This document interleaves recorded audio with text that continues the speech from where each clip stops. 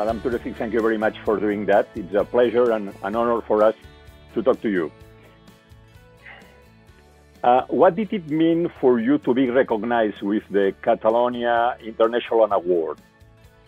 Oh, it is it is a, a special honor for me. Uh, I already knew this uh, Catalonia International Award because one of my um, colleagues, also an oncologist, uh, um, uh, Joseph Baselga, had been in the past acknowledged with uh, it. So uh, this was not the first time I heard about it, obviously, and it's um, it's a special honor that I'm among all those um, uh, awardees, um, and uh, I feel very honored and humbled.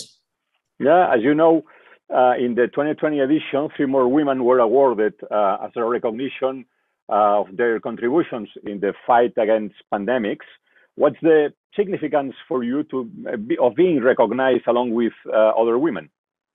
Uh, it uh, it is wonderful to be recognized with other strong and brilliant women uh, with um, these uh, sisters, not sisters in crime, but sisters in the service of of a greater cause. Uh, so I, I, that again is a special honor, and um, uh, I think this will also help further to highlight how important it is uh, to to mobilize women and also girls as role models for uh, activities which are around science and technology, meaning for the STEM or STEM um, uh, disciplines. Mm-hmm. Well, uh, almost uh, two years ago, you changed your line of work to find a vaccine against COVID 19 with Pfizer. You and your team achieved that uh, only eight months after the WHO declared the pandemic. How do you recall those months? It was a roller coaster ride. I have to say. Uh, it was anyway not an easy time for, for us as a global community. And on top of it, uh, uh, we at BioNTech, our team, uh, also felt the moral obligation uh, to contribute and to embark uh, into this journey, which we called Project Lightspeed, which already tells you the name itself that um, we had to move fast we had tens of decisions per day, uh, which uh, would um, uh, uh, uh contribute to whether the project would be su successful or not. And for quite a long time, because we were on new territory, we were not sure whether we would hit the target at the end of the day. So it was a very exciting and and and consuming time as well. But we, very tired. We are very happy that we were blessed with success.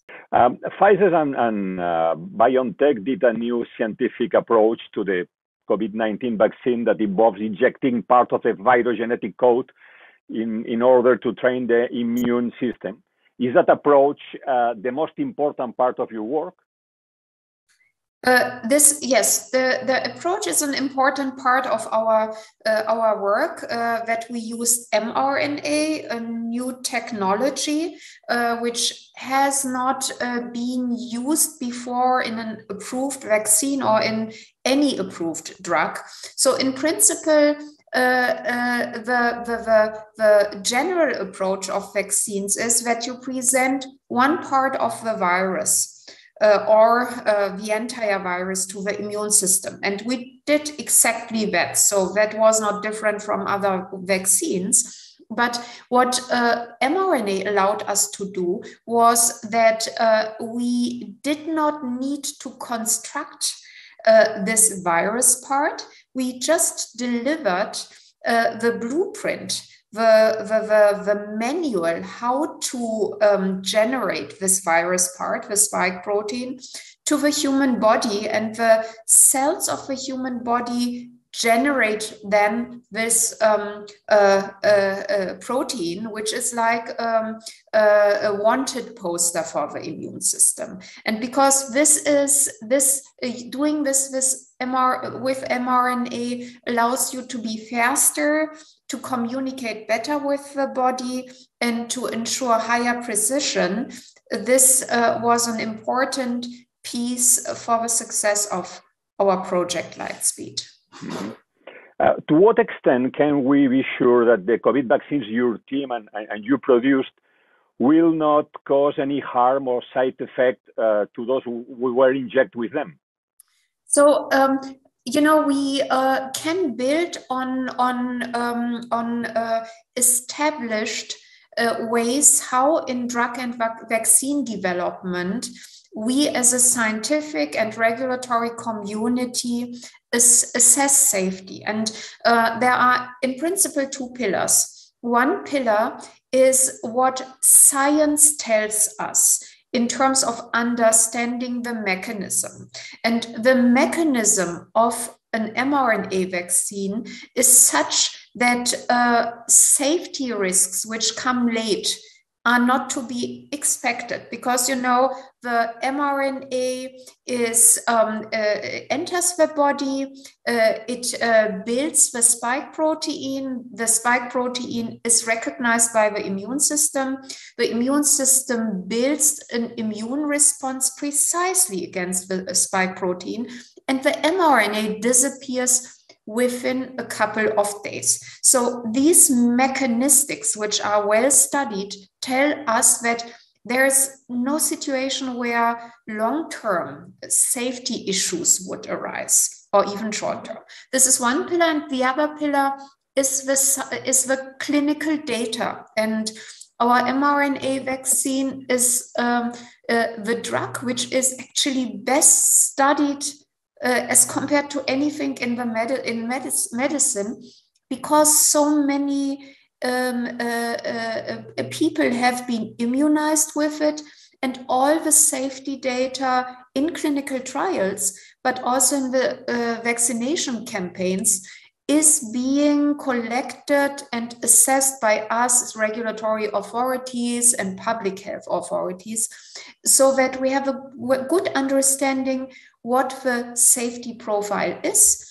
And it is very, very unlikely that safety issues which are not recognized early on would appear sometime late because there's no mechanism by which after two, three, five years, all of, of a sudden something which you have not picked up uh, earlier would occur. You are the, the pioneer of, of the search for the immunity against cancer. What's the current uh, state of the research uh, you conduct in this field? Um, we uh, uh, we are uh, uh using our mRNA platform again uh, to develop uh, vaccines against cancer. we have our cancer vaccines come in two flavors. we have highly personalized vaccines where we indeed on demand and tailor made generate vaccines for each and every uh, patient uh, who which are unique. And then we have approaches where we have off the shelf uh, mRNA cancer vaccines which um, uh, fit to a certain tumor type. And both these approaches have reached um, uh, what we call phase two clinical trials the second phase of in total three phases of clinical trials this is how um, drugs are developed and what we are testing in phase two is that we compare against the standard of care uh, these patients would normally get. And um, the task here is to show in so called randomized trials that our vaccine is better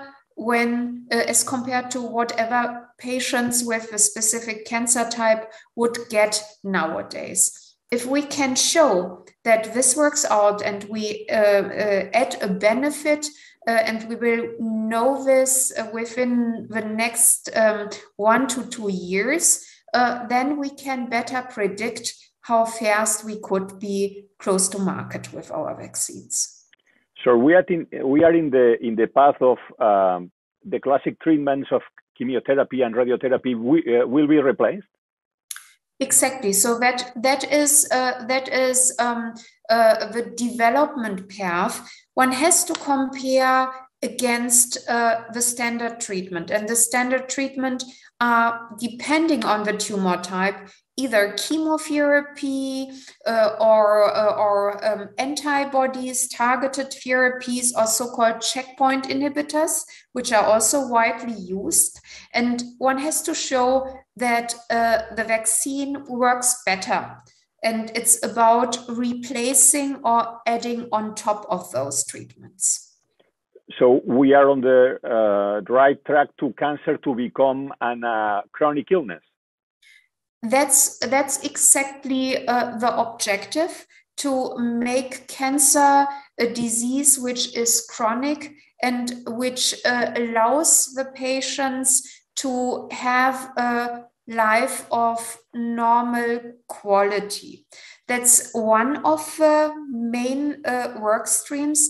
Another work stream is that we not only work in advanced cancers, uh, uh, we are very interested in using our vaccines in patients who get surgery and seem to be tumor free, but uh, the cancer comes back because surgery could not um, uh, delete all the tumor cells.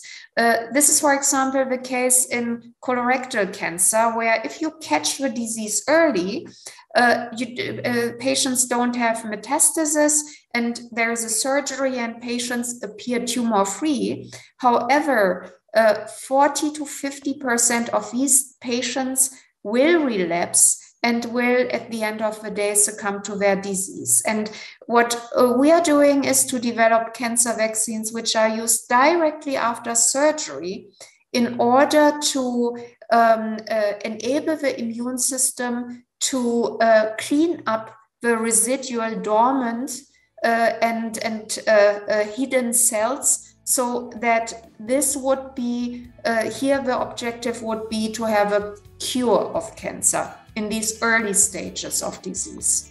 Özlem, Türeci. Thank you very much for your answers. Uh, I'm from our newspaper in, in, Barcelona, Catalonia. Thank you for the, the research and work uh, you are doing, not only in, in coronavirus field, but in, especially in cancer. Thank you very much for this very pleasant chat. Thank you.